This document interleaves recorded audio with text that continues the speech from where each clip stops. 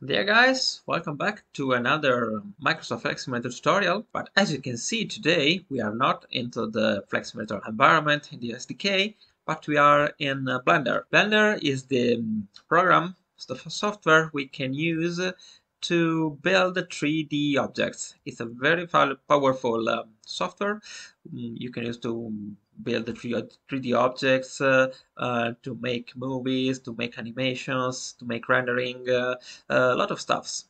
So download Blender from the link in the description below, which is the official site, of course, and you also need to download the um, Blender to MS, MSFS toolkit, which we can use to convert the objects created in Blender uh, to the standard format for Microsoft Flight Simulator.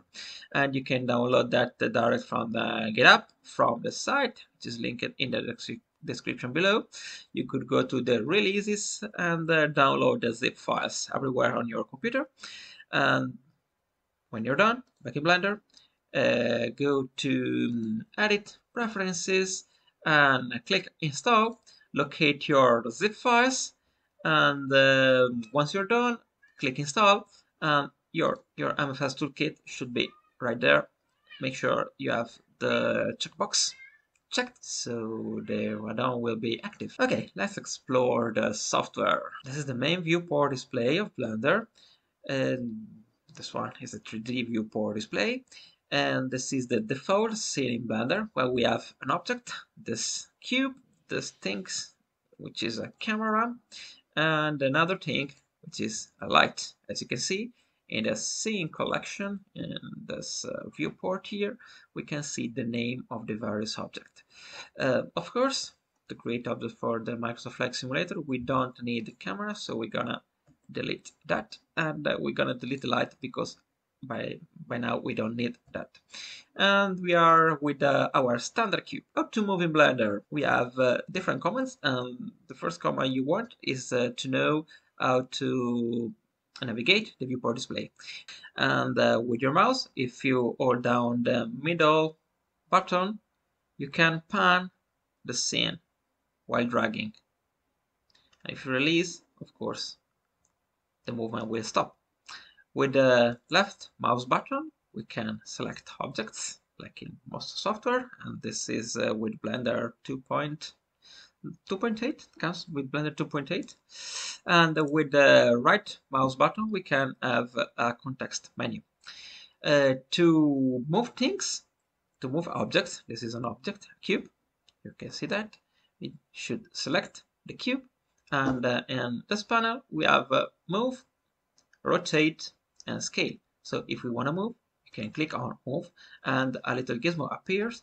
So dragging on the arrow keys, we can move the cube in whatever direction we want. Let's bring back the cube. And in the same way, we can rotate the cube. And uh, if you remember, this is the same thing we see in the SDK. So if we now rotate along the Z axis, the vertical axis, it's the blue one, and the X axis is the red one and the green one is the y-axis so let's bring back here with Ctrl Z of course you undo movements. If you want to zoom in with a mouse wheel you can zoom in. And if you want to scale your object you can press scale select your object and scale it along various directions. And uh, we're back to the default cube. Here we are uh, as you can see, once we hold our mouse on the various icons, we can see there's of course a shortcut to do things. They will uh, become really handy in the future. Okay, back to our cube. So if you wanna, uh, and back to object select, if you wanna move, you can press G and you can move wherever you want. And once you're done, if you click, the cube will stay in the place where you've moved it. Ctrl Z to move it to its uh, original location. The scale is S to scale, rotate is R to rotate. Uh, you can of course move in only one direction by pressing G and the direction you want to move. So if you want to bring the cube up, press G, Z, and as you can see, by moving the mouse, it will be moving only on the z direction and if you want to scale it in the x direction we can press scale x scale x and we scale and scale y and we scale okay this is and another thing you would like to set up before starting uh, creating our 3D object is uh, those statistics here um, indicating how many faces and vertex and uh, triangles as our mesh because uh, performance is really important in Microsoft Flight Simulator and we need to always look at how much uh, geometry we are adding into the system. So go to edit preferences the interface, uh, you can go to the status bar and click scene statistics. So as you can see, if I now untoggle it, it uh, will disappear and back we have our statistic. So the goal today is uh, to make a runway cone. Now what is a runway cone? So let's Google it. And are those uh, runway delimiters? As you can see, they are cones. And uh, in fact, our runway in the airport that we are creating is full of these cones. Uh, we have uh, red cones and uh, white cones. So uh, our our cones have a base, a square base, and the cone itself on top. And the idea in Blender is to decompose uh, the object we want to create in uh, simple shapes. In fact, we have right now a cube which is a mesh. Uh, let's uh, start uh, modeling. So we need to scale this cube to the exact measurement of our cone and we can see the measurement of the of the object by pressing the N key. Uh, this is the transform panel and as you can see our object in its dimensions is 2 meters by 2 meters by 2 meters which is the default cube. So um, the base of our uh, cone will be probably 0.40 by 0.40 by uh, 0.05 uh, we can zoom in and if we rotate we can see that our uh, object is not more in the middle so we can select the object by pressing G and GY to put it right in the middle. And as you can see uh, it's right into the center of our screen. But we have um, changed its dimension and we have changed them by scaling the object. And in fact the scale is now 0.2 by 0.2 by 0.25 uh, Microsoft Flight Simulator doesn't like at all scaling. You want the scale to be 1 so every time you scale an, um, a mesh in object mode which is the mode we are using now uh, you should apply the scale. And the scale is applied by pressing Ctrl A and apply scale. And we want normally we want to apply all transform. So the scale is 1 and the location will be 0 this is the um, the orange point. The orange point is the um, origin of our mesh. And this uh, circle here is called the 3d cursor. So we have our our base for our cone. And uh, let's go to um, a perspective of a front view. Uh, you can use uh, the num numpad if you have uh, um, a complete keyboard. So control 3 will bring you to the um, to this view which is the right right view. And the front view is uh, maybe this is the back. If we click again we get to the front of course. Uh, the front is uh, control 1 uh, so as you can see our object is uh, right um, in, the, in the middle of our scene and a part of our object will be underground if we leave this like this. So we should move a little bit up. So GZ and or GZ if you are in another place on the planet uh, we should put it just above the ground. Um, its uh, its location is changed so uh, control A and apply all transform. Uh, you got it so you can close this panel by pressing the N key. And we have uh, the base of uh, our cone and uh, we should add another we should add the, the cone itself. So let's add Okay, so let's add a cylinder and press add mesh cylinder. Okay, the cylinder is being added uh, right where the 3D cursor, this is the name of this object, is. And uh, when you add the uh, cylinder, we can see we have a context menu here and is only available once the cylinder is created. If we do stuff like moving or modifying the cylinder, we don't have this menu anymore. Uh, so we can um, adjust its radius, which will be 0.15, and its depth, which is the height, uh, 0.40 and the number of vertices which is the number of sides of the cylinder uh, now is 32 but uh, it's really too complex for a, an object uh, that small. So we can use maybe 20 okay I think 20 is okay. So we have to put this baby into the middle of uh, our um, of our square of our cube onto the base. So go back to the front view and press GZ to bring it up and GY to bring it in the middle, right in the middle. So on top view, GX, and now as the baby is right in the middle. Uh, so let's confirm that all transforms. So it's on 0, 0, 0 and scale 1. Uh, of course, it's it looks like it is uh, a little bit too high so we can start modifying this baby by changing from the object mode to the edit mode.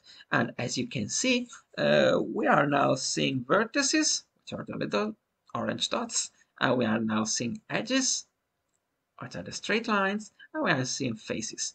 We have three modes. This is vertex selection. We can switch to edge selection, where we can select only the edges or we can switch to face mode selection. And this is where we can select the faces of our object. So it's a cone um, the the top part of the cone should be smaller than the bottom part of the cone so we can use the uh, vertex mode vertex mode and box select a bunch of vertices. Uh, so if, if we click S to scale them and move the mouse, we can see that some vertices are not scaled, which is the, the, the viewport shading. Uh, only the um, the visible vertex, the visible faces, the visible element of our mesh could be selected. So if we want to select uh, also the mesh, the, the part that we are not seeing, we should enable this baby here, which is X-ray. So if you can, if we box select again, you can see that we have selected also the vertices that were on the other part. So let's scale it like this. Uh, we have our cone. It's a bit a little too height. In fact, if we can see, if you can see here, our cones are, smaller. So let's go back and press GZ and our cone should be pretty much like that and the base is is to height so we can uh, press tab to go to switch to edit mode between object and edit mode and take the bottom vertices and press GZ to bring this yeah. So uh, the cone is uh, is not uh, sitting on the, its base so GZ to bring it here and all these guys back on the ground. And all transform. Uh, if we want to select all objects, we can press the A key and as you can see, we have select all. So the cone is pretty much ready. GZ. Okay, it's um, it's a little bit too sharp this um, the space, I think. So we can um, maybe add a, a little bit of a bevel to our object. So go into edit mode and select um, all the all the vertex and add a bevel so we can drag a little bit and as you can see we are now creating a bevel edge. And there is another tool. Once you while you bevel if you scroll the wheel you will add as you can see um, some other loops to make our object more uh, more smooth. Uh, another important function in Blender is to smooth the faces and you can obtain this by clicking the right mouse button and click shade smooth. Um, on both objects we have shade smooth. So uh, right now we have in, we are in the viewport shading uh, mode. If you click on the material preview, we can see that our object by now is white. White because uh, there is actually no material applied to the um, to the object. Materials are what makes our object colorful, um, maybe rough or metallic, and the material you can set them uh, in the oh, shading tab or by clicking right here in the material.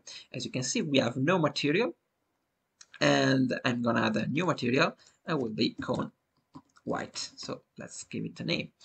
Uh, we can of course rename the, our mesh by double clicking on them. So this is the cone and this is the base.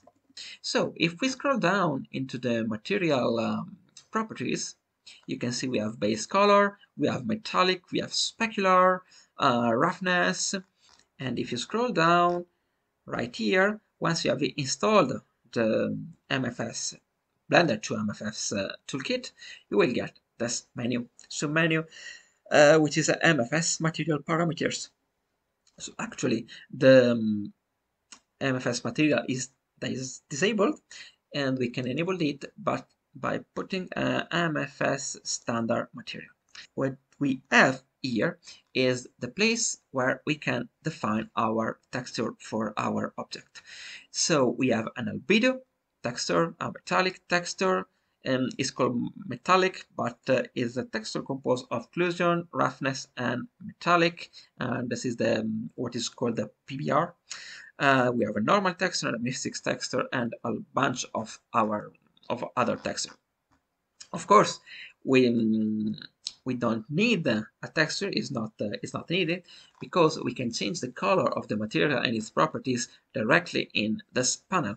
So if we want uh, a red cone we can click on the base color and move it to the red. And as you can see we have red here. We can of course change its darkness to make it it a little more dark and its saturation to make it a little bit more used. And we can also change its roughness, so its plastic could be little roughness to know, so is uh, is shiny, uh, or could be much roughness and it's very rough, no light reflected. Again, we can leave this like this and the specular a little bit less like this it's not metallic so no metallic needed. And metallic is set to zero.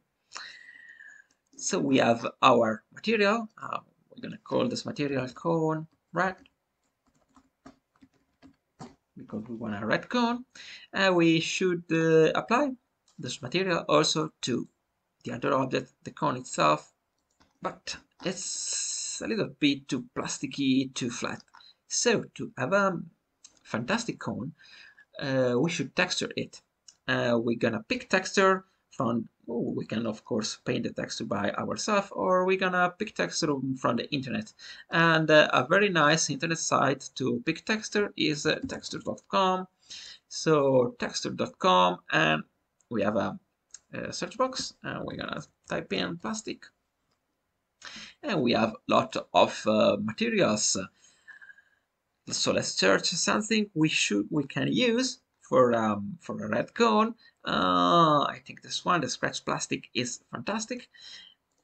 As, and if you click we have a preview of the material. You know you, you can see it's uh, it's red it's got the plastic scratches uh, it's nice. And if we go down we can have the maps we need so we have an albedo map for this material, a normal map, and a roughness map. Of course, the albedo is the color of our texture, and the roughness is how rough in every point our texture is, and roughness is expressed uh, like this. So more black less roughness, more white, more roughness, full white, full rough, and uh, full black, full smooth. The normal texture uh, express uh, the 3D 3D aspect. Uh, look, this is a bit scratch, so it's a there is a little little bit of indentation here. There is some movement here and there. Um, the normal map is used to, to fake the um, our, our object, the, the 3D engine of the of the software, uh, without using any more geometry. So we can download uh, the the mask we want. It's a tiny tiny little bit of object. So um, 512 uh, by 512 texture is okay, and I have saved them to my texture um, uh, folder where I have bunch of textures saved from texture.com and uh, other sources. There are, lot, of course, a lot of sources in um, uh, on the internet. Uh, we have the albedo, the normal, and the roughness texture. So let's go back to Blender and let's see how we can use them. In the albedo slot, press open and navigate to your texture folder by last modified and pick the albedo. And as you can see, our texture is now applied over our cone. Of course, there is a normal texture, and we're gonna pick it, and the normal is here. Pretty much nothing has changed, but you mm, with, with this type of, uh, of texture because the scratches are a little little faint, but you can increase the normal scale, uh, increase the normal effect by scrolling down in the material parameters and increase the normal scale. As you, as you can see, now we have bumps, we have scratches. Okay, so when you, you apply a texture to a material, you know the texture is a flat image, but you are applying it to a 3D imager, to a 3D mesh. So how to unwrap in Blender? Let's go in uh, edit mode by pressing the tab key and uh, select the faces and press U to unwrap.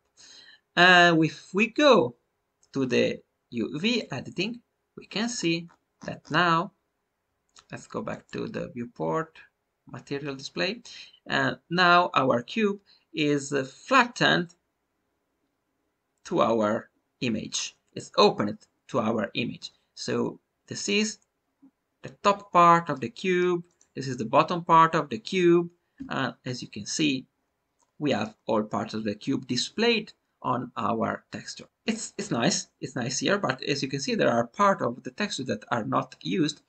Um, we can um, change, of course, the, the UV editing. And now I want to select the top and the bottom face, the top and the bottom face,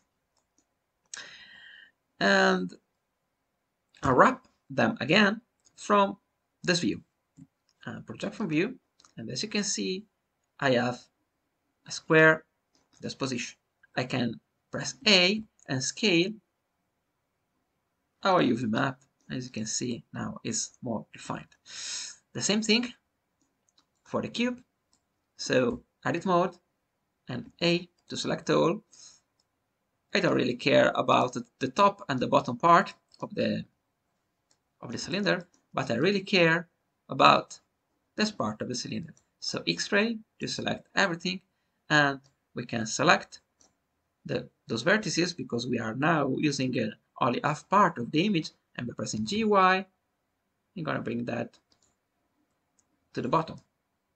I'm right OK with this object now and I'm ready to export into the Microsoft Flight Simulator. So I'm gonna press A and Control A to make sure I have applied all my transform so every object is in 000 location and one scale. Every object 000 location and one scale. So of course I want to save my work. So I press File, Save As. If you remember, we can navigate to our uh, object folder, which is LIDL Legnago.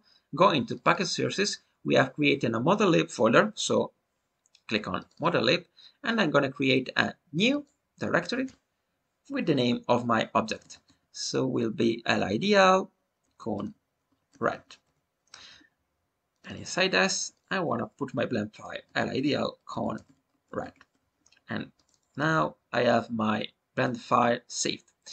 And to export the object, you're going to press A to select everything on the scene, to select the object we want to export, so everything on the scene basically, and place File, Export, extending glTF for MSFS. And if you don't have this menu or you don't have the MFS material panel, you have to install again the Blender 2 MFS toolkit. So let's click OK, and we have a bunch of options here. We have the name of the object, and I like to call the name of the object like my Blender file and like my folder. And we have a texture folder, and the texture folder will be dot dot slash texture because I don't know if we have seen it before, but we have a texture folder in our model lib folder. Let's open MSFS and make this a little bit bigger so you can see. We're gonna always check generate append XML file because um, the Flight Simulator compiler needs an XML file to uh, locate your object in your directory structure. Uh, the name will be the same of our model dot XML and always check generate UID because the sim needs a UID to place your object and please export extended glTF. Okay, he's, he has already done his job. And if we navigate to the uh, LIDL folder, now go package sources, LIDL model lib, LIDL conrad, you can see we now have um, our blend file, of course, but we also have um, conrad.gltf, uh, a con.xml, contains our UID and a bin file which contains the, the mesh itself. We are done. The object is um, is okay and is ready to be placed in Flight Simulator. So let's stop it and load our project into the sim. And we are back. We load up our project into the scenery editor and uh, we need to locate our new cones and um, so let's let's try to put it the name of our cone L-I-D-L and nothing here but of course I need to press all and search for LIDL there's nothing why because the sim needs to um, have the objects uh, loaded in its format which is BGL so the objects need to be compiled before the sim can see them and how we compile our object uh, you know we in our project we have um, the model lib already created. So if we press the build all button, and let's bring up the console to see if there are any errors. Okay, we have done. So the, the sim is uh, reading our object, is compiling. Oh, here it is, lidlconrad.gltf. So it's compiling our object and is compiling it to a modellib.bgl. It's uh, reading our texture and is compiling them to the its format which is png.dds. So we are okay. And if we now search lidl all packages, as you can see, our cone is ready to be added. So I'm gonna press add in the scenery editor and we have our cone here. Okay, it's a little bit tiny compared to those cones. So we can delete those cones and pick our new cone and give it a little bit of a scale. I think it's okay. So we can duplicate it because there are three cones. Duplicate again on its size the runway.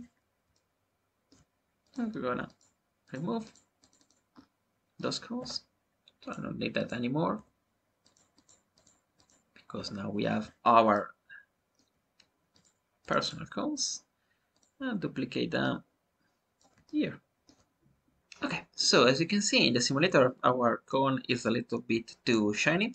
We can adjust that by playing with the roughness setting but uh, now I want you to explain how the the PBR or composed, composed texture occlusion roughness metallic texture works. And if you remember, we have downloaded also a roughness, roughness uh, map from texture.com and it's here and it's the roughness map. We should open it with an image editing software. I use GIMP, so open with GIMP, or you can use Photoshop if you have that. But GIMP is a free software and it's very easy to use. Okay, convert, no problem. And now we have our texture displayed in GIMP. Uh, to create a composed texture which has uh, the ambient occlusion, the roughness, and the metallic map all in one texture, we should decompose this image.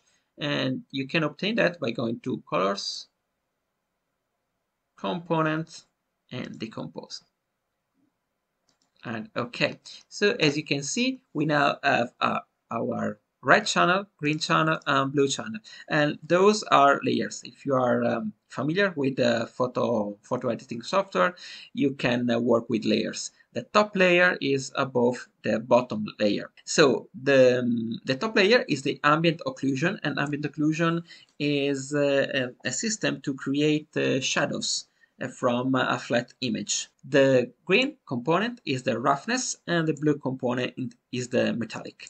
So the about the, the red the component, if we don't have um, an, an ambient occlusion map in our texture from texture.com or from another software, it is best to keep it uh, full white. So make it full white and paint it full white. This one which is the roughness is okay and more black is more shiny uh, more white is more rough. And as you can see the, the artist has made rough the scratches and the other part are, are a little bit more shiny. And the metallic map the blue one should be all black because there is no metallic and all black. While if we made it full white, it will be full metallic. So we have our texture, our layers are okay, and we go back to colors, component, and compose. Press OK, and you have you will have your uh, comp map. Really simple to do. So press File, Export as. I'm gonna save it like the name we have used before dot comp. And I already done that so let's overwrite it. And export and back in Blender we can now assign those metallic which is occlusion roughness metallic to our new created folder. A new created texture and is this one Okay. So I think there is too much specular here.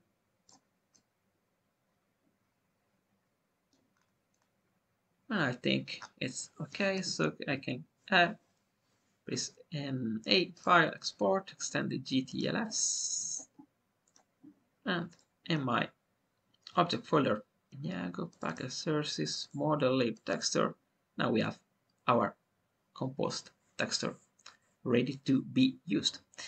Uh, so I think um, we have done a lot of things today. Uh, you can be satisfied. So let's go ahead by doing uh, other objects. Thank you for following me and see you in the next episode. Bye bye.